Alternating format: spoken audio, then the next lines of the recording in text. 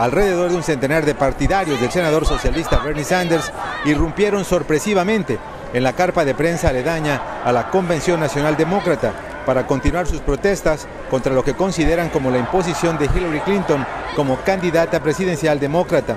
La protesta coincidió con la histórica nominación de Clinton como la primera mujer nominada a la Casa Blanca por un partido político mayor de Estados Unidos.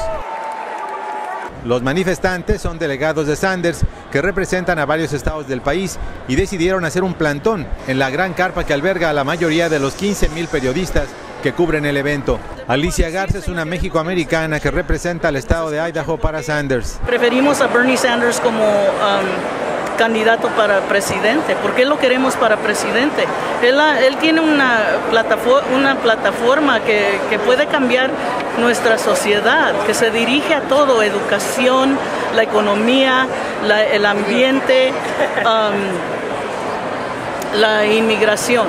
Aunque la protesta provocó de inmediato la movilización de la policía, fueron dejados en las instalaciones por decisión de la Policía de Filadelfia. Desde la Convención Nacional Demócrata de Filadelfia, José López Zamorano, enviado especial de Notimex.